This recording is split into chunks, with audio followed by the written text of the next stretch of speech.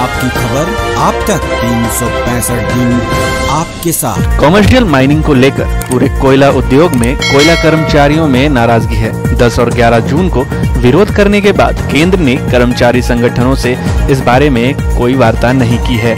सरकार ने commercial mining के तहत कोल ब्लॉक की नीलामी का फैसला लिया है। 18 जून को कमर्शियल माइनिंग के अंतर्गत 50 कोयला खदानों की नीलामी निजी कोल कंपनियों को किया जाना प्रस्तावित है।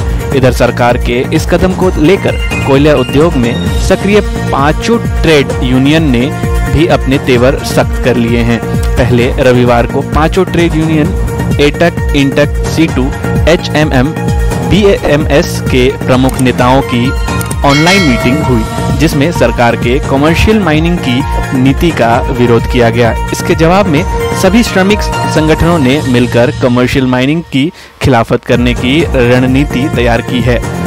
आज रांची सीसीएल में तमाम मजदूर संगठन के प्रतिनिधियों ने प्रेस को संबोधित करते हुए कहा कि एस ने निर्णय लिया है कि 18 जून को अगर कमर्शियल माइनिंग होगी तो कोयला कर्मचारी दो, तीन और चार जुलाई को पूरे कोयला उद्योग में काम बंद हड़ताल करेंगे।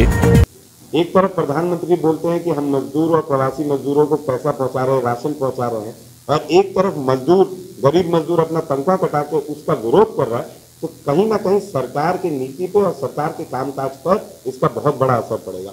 दूसरा चीज़, मैं मानता हूँ कि कोल इंडिया के पास पर्याप्त मात्रा में अभी कोयला स्टॉक है।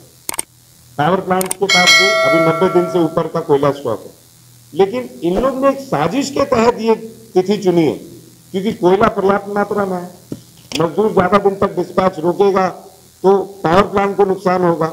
लेकिन पावर प्लांट के पास अधिक स्टॉक है ऑलरेडी कोल इंडिया के पास ऑलरेडी अधिक स्टॉक अगर माइनिंग रुकती है तो, तो कहीं ना कहीं सरकार की बहुत बड़ी साजिश है कि कैसे अमीर घरानों को प्रॉफिट पहुँचाया जाए। और सबसे बड़ा बात जो इसमें सरकार को समझना है कि कोल इंडिया से अकेले एक मजदूर का परिवार नहीं चलता है।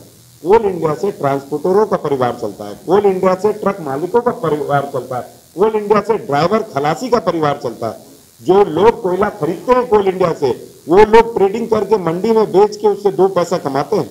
जो लोग कोयला खरीदते हैं कोल इंडिया से, वो लोग गाड़ी में अपना किस्ती दे के अपने गाड़ी का रोज मर्रा का ज़िंदगी से अपने परिवार का पालन पोषण करते हैं। तो कहीं ना कहीं कोल इंडिया इससे इफ़ेक्ट तो होगा ही होगा, लेकिन एक बहुत बड़े पैमाने पर जो रिटायर किया हुआ मजदूर अपने बेटे को, ज़िंदगी भर वो कोल इंडिया में रह गया, ज़िंदगी भर वो माइंस में रह गया रिटायरमेंट के बाद अपने ग्रेजुएटी का पैसा, अपने प्रोविडेंट फंड का पैसा, अपने रिटायरमेंट का पैसा से वो अपने बेटे को गाड़ी खरीदवाता है ट्रक खरीदवाता है हाईवा खरीदवाता है रोज़गार के लिए, और उससे ट्रांसपोर्टिंग करता है। कोयला में पैसा लगवाता है। कहीं ना कहीं उस रिटायर्ड किए हुए मजदूर को और वहाँ पर रहने वाले जो आम जनता है उसको भी कहीं ना कहीं बहुत भारी नुकसान होने वाला खबर तीन सौ पैंसठ न्यूज़ के लिए रांची से प्रतीक सिंह की रिपोर्ट।